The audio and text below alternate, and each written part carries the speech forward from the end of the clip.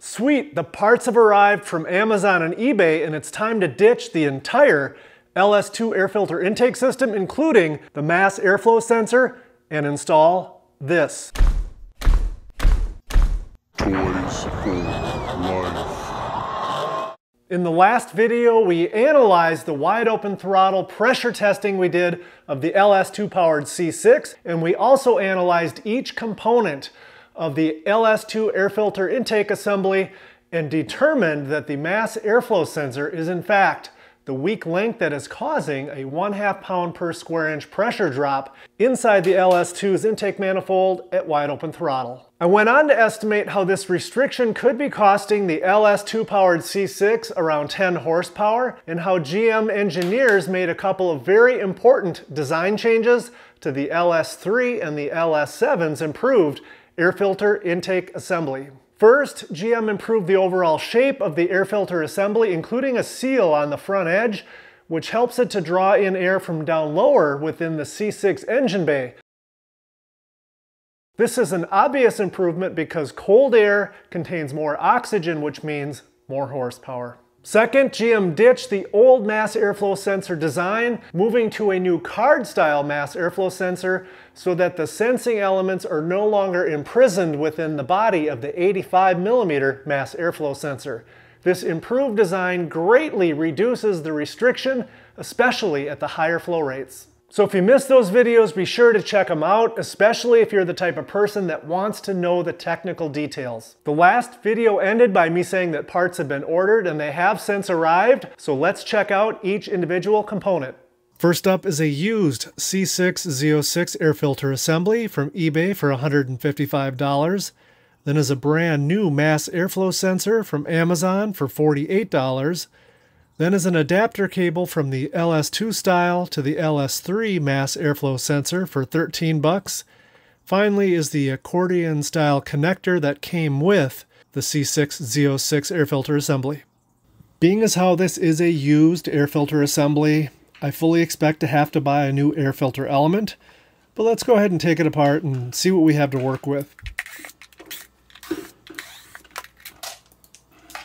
Interesting. We've got kind of a foam filter element, which is kind of sketchy, and an aluminum honeycomb, which its job is to kind of straighten out the air and smooth it out so that we don't get high speed, low RPM bucking from uneven airflow across the mass airflow sensor. But it's good enough to get this installed and mocked up inside the car and get it running with kind of a base tune.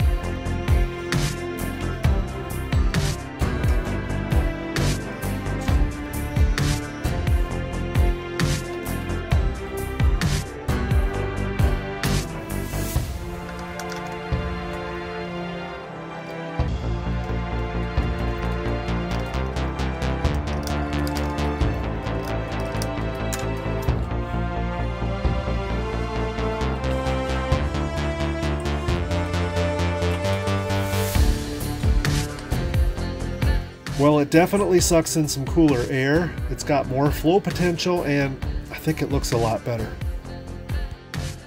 Now it's time to fire up the LS2, right? Well, not exactly. Unfortunately, it probably won't even run because the tables inside the tune that interpret the data coming from the LS3, LS7 style mass airflow sensor need to be adjusted by quite a bit. Even if the signals that come from the LS3, LS7 style mass airflow sensor were exactly the same as the ones coming from the LS2 style mass airflow sensor, we still would have to tweak the tune because we have changed the entire air filter assembly and that changes the way the engine breathes. So for both of those reasons, we definitely have to tweak the tune. Additionally, both the LS2 style and the LS3 LS7 style mass airflow sensors contain the intake air temperature sensor as well. So let's go ahead and jump into HP Tuners right now. We'll change the MAF tables and the IAT tables just enough so we can get the car up and running, and then we'll have to wait till we get the air filter so we can do some street tuning to really dial it in. All right, so we're in HP Tuners. I'm gonna go ahead and open the tune that I've been using recently. Then I'm also gonna go ahead and open a compare file, which is the 2008 Z06 tune that I'm gonna get the MAF data from. Then we go into Engine. And as you can see, here's the LS2 data, here's the LS3 data, and it's literally like about three times more. So I'm gonna go ahead and copy this, and I'm gonna paste it into the LS2 tune. So that's good. Then I'm also going to go to the high part of the frequency scale. They just divide it into high and low. Don't ask me why. Again, the LS3 data is much higher than the LS2. So I'm going to go ahead and copy that. And I'm going to paste that over to the LS2. Then I'm going to close the compare file. Then I'm going to go ahead and I'm going to save it as something new here. Just name it whatever you want that uh, will make it clear what you did. And save that. Now, to make sure, I'm going to close that out, that I did it right, I'm going to go into the tune I just created. This time I'm going to compare it to that tune that I got the Z06 MAF data and these should be non-highlighted. So this is highlighted, this is different, but now this means that I changed everything correctly, otherwise one or both of these would be highlighted. So I'm satisfied that I did this correctly. So now we've got the mass airflow sensor data in the tune close enough to get it up and running. Next, let's take a look at the intake air temperature sensor data inside the tune so that we can get that dialed back in. The intake air temperature sensor data is a bit trickier to adjust because the resistance breakpoints within the tune, which is the top row, they don't line up exactly between the LS2 tune and the LS3, LS7 tune. So we're gonna have to do a little bit of math and some deductive reasoning to figure it out, but I promise you, it's doable. And by the way, if you happen to be an advanced tuner and you're watching this and you know of a way to change those resistance breakpoints in the tune, let me know in the comments below. I'd be most appreciative because I don't think it's possible. All right, so for the inlet air temperature table, I've got both tunes once again opened in HP Tuner. So here's my LS2 tune, and here is the 2008 LS7 tune from the Z06 that we're going to kind of take the data from. And what I did is, here's the LS2 tune. I just copied this entire table and I pasted it right here into Microsoft Excel. You can use probably a different spreadsheet, whatever you have. And then I formatted a little bit, so I've got all the LS2 data right here, the resistance, which is the fixed column headers here, and the temperature, which we can change any one of these cells if we want to. That's the part we can tune. So here it is for the LS2. Went back into the tune, click this for the LS7's data. Same thing, copied this, and I paste that right here, okay? So here is all the LS7 data. All right, so for as an example, this is what I've created here, which is my LS2 to LS3 table.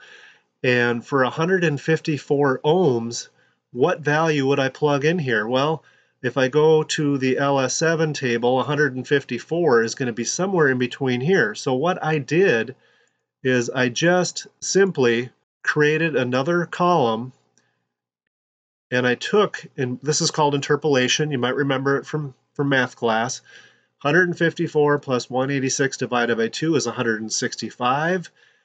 And same thing here for the temperature, 230 plus 212 divided by 2 is 221. So, and what I'm trying to do is figure out what value would I plug in here for the temperature for 154 ohms. I believe this is ohms.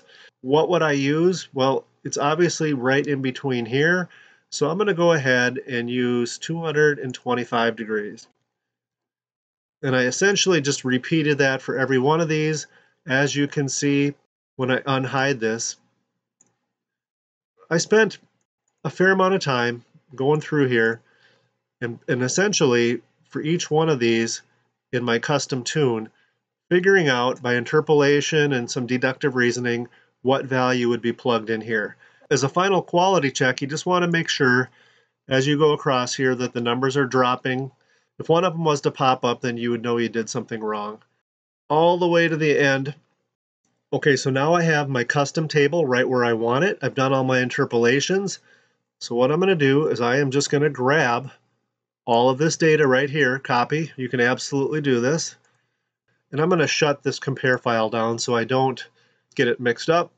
So now what I'm going to do is I am going to paste my new data right in here. And as you can see, there it is. And I'll do the same thing for IAT2 sensor calibration. And I think this is like a second sensor. If you had like a supercharged application or something, you want uh, the air temperature before the supercharger and after the supercharger. I don't think it has any use in naturally aspirated because every tune I've looked at, these are both identical. But to be safe, I'm going to go ahead and I am going to paste the exact same data in here. And we're good to go. And I'm going to go ahead and save this file. And I've actually already done it. Um, Tune 13 plus Excel intake air temperature data 1 and 2. And of course, the next part is to upload the tune to the C6's PCM. And once that's done writing, we'll go ahead and fire it up.